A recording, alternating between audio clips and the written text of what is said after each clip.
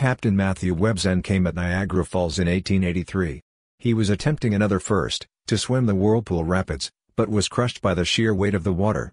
The Illustrated London News reported the death of the bravest and greatest of swimmers in its issue of 28 July.